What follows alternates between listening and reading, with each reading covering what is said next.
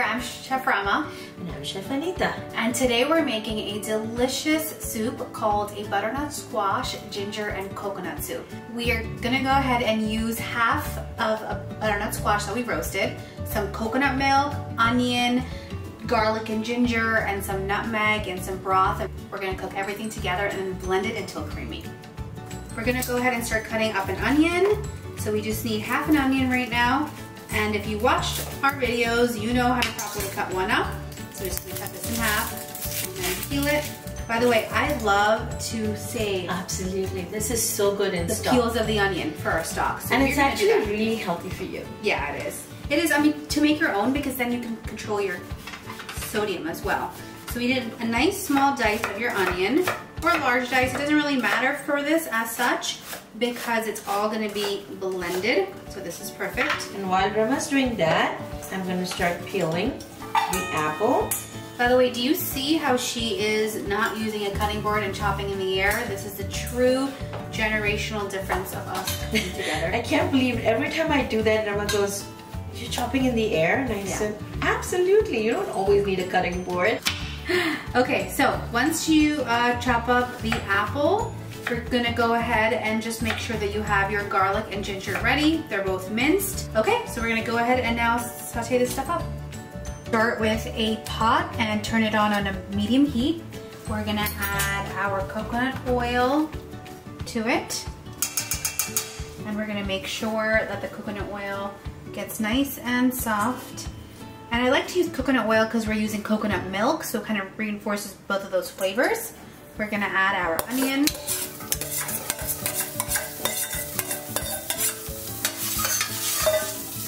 This smells amazing. Basically smells like beach right now, in my, opinion. You're gonna add some salt while you cook the onions so they get nice and soft, and it also helps with adding layers of flavor. Perfect. Now we're gonna go ahead and add our ginger and garlic to this.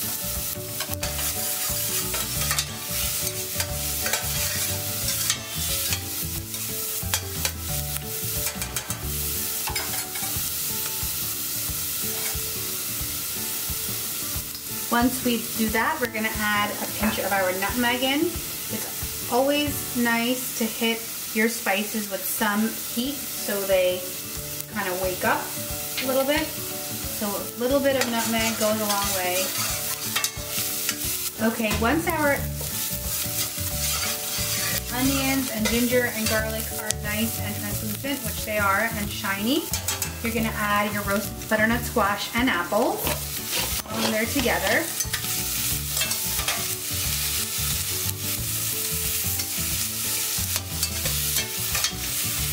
You're gonna make sure that you mix everything really well and add a little bit of salt. So it's important to add a little salt every step of the way, just a little bit. And you can add a little bit of black pepper now as well.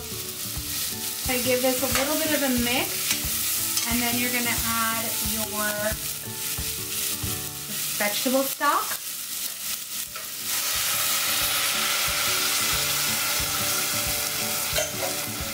And you're gonna add in your coconut milk.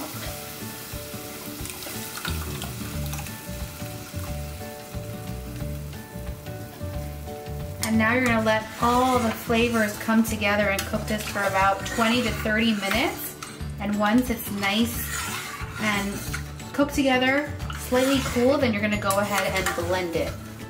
Okay, now once the squash is cooked and with the coconut milk, all the flavors have come together really nicely. We're gonna take an immersion blender or you could take a, um, a tabletop blender as well and just blend it till smooth. Okay, this is beautiful. But the squash uh, was cooked with all the onions and the apples and we just blended till smooth. It's perfect. It's gonna go ahead and how creamy it is. plate this up, right? And it's just, this is so comforting. There's a couple ways to garnish. Um, what do you think? Mm-hmm. We add a little bit of, A little dollop of coconut yogurt or, or yogurt of your choice. yeah, your of choice, right? Right in the middle, perfection. Beautiful. And then we're gonna go ahead and sprinkle some cilantro. Good Oh my stuff. gosh, this is so delicious. Love it. It has that flavor of the butternut squash and the sweetness of the apple. And the coconut. Those like yeah. three delicious flavors that come together. Really good. Yeah.